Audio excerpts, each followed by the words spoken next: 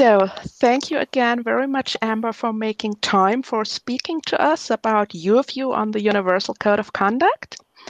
And the first thing I would like to know is how you, did you become aware that there is work going on by the foundation around a Universal Code of Conduct? Um, my colleague Melissa Tamani was made aware through the user group that she's part of in Peru, and they were uh, they were reached out to in Spanish to participate in a pre- preliminary survey, and at that point she brought that information to Art and Feminism because she was confused why we hadn't heard of it.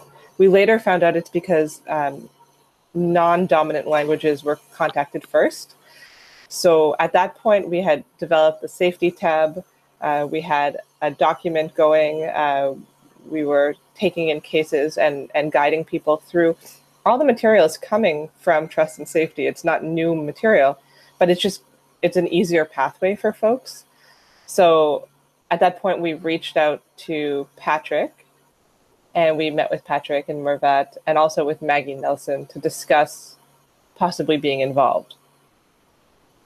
So, just for anyone who's viewing this who might not be familiar with Patrick and Mervat, they are also on the trust and safety team. Patrick is my manager. Mervat is a facilitator who was doing some of those initial outreach things. Yeah.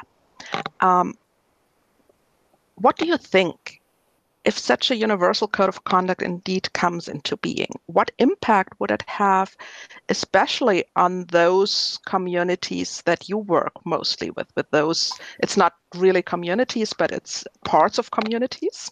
Yeah. So, I mean, we work with many different types of communities. A big one that we work with are new editors because part of our mandate is to train new people.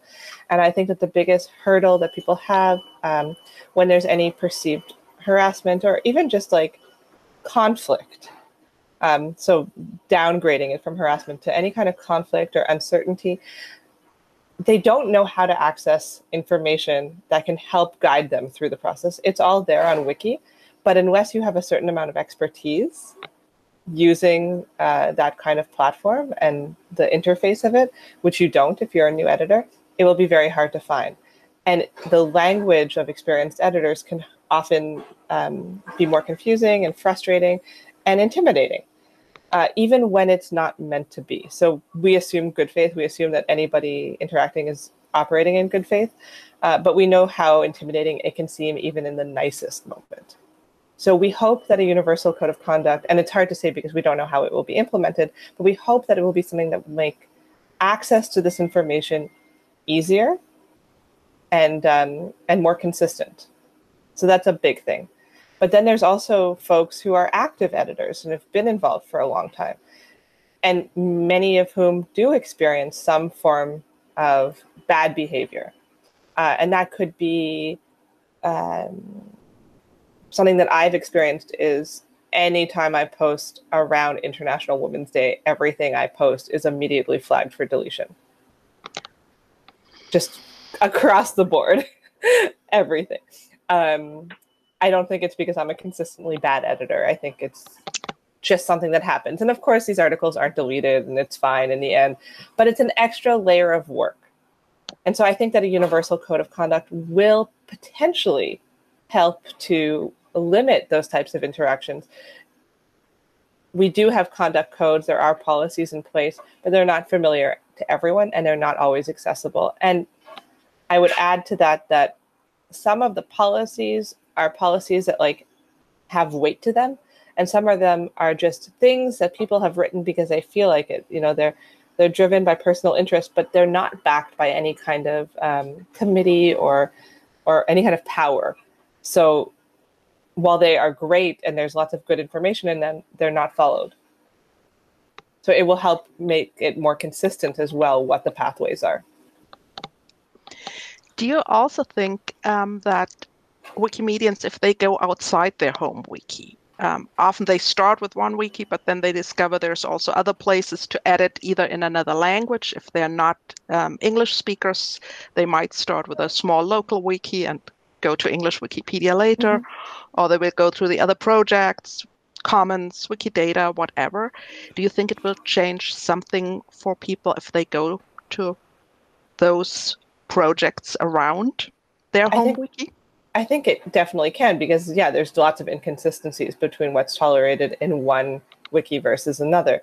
I work in English and French, and I've seen very, very big differences in what is permitted and also in how things are engaged. I think it also could potentially allow um, for the the privilege that you have generally as a Wikipedia user to carry over. That's something that could happen.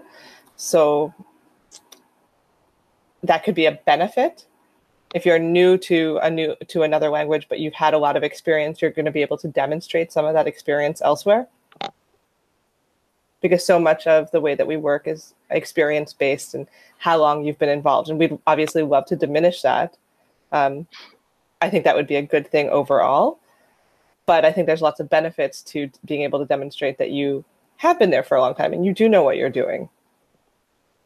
Definitely, yes. Um, that was already a lot of insights, but is there anything else you wanted to share about the concept of a universal code of conduct? Right now, it's very hard for me to see exactly how it will work because we don't have the code in front of us and we don't know how it will be implemented. The information that we've been given, um, you know, it's very hopeful, and we are entering into this process with 100% the belief that this is only a good thing.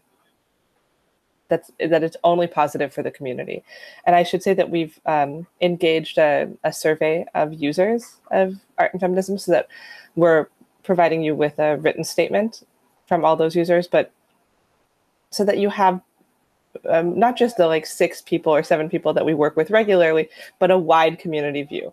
And we also held a um, like an office hour around it as well. And not everybody thought that it was a good thing. Some people thought it was a bad thing because it could not be implemented. It would never happen.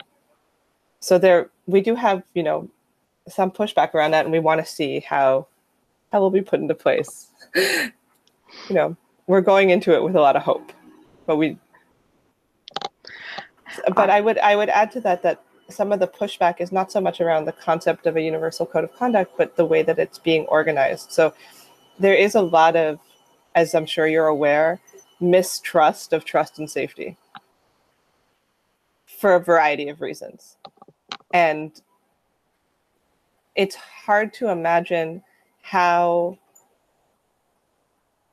a project that's guided by the foundation, but that is meant to affect the community and the movement, is going to be received by the movement when there's so little trust between them. And something has, I think, something has to change in that trust relationship and that, like, what seems to me like a real fight for power constantly. How we can overcome that in order to make the community healthier for everyone. But that seems like separate from the universal code of conduct. It's putting the cart before the horse.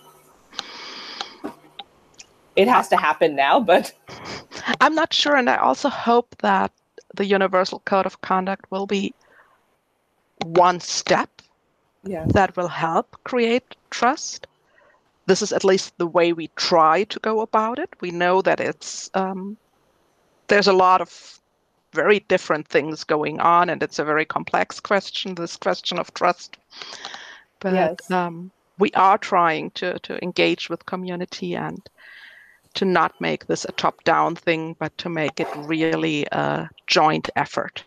And we and we see that at Art and Feminism. We see that work happening, just so that you know, like it's visible to us, and we acknowledge it.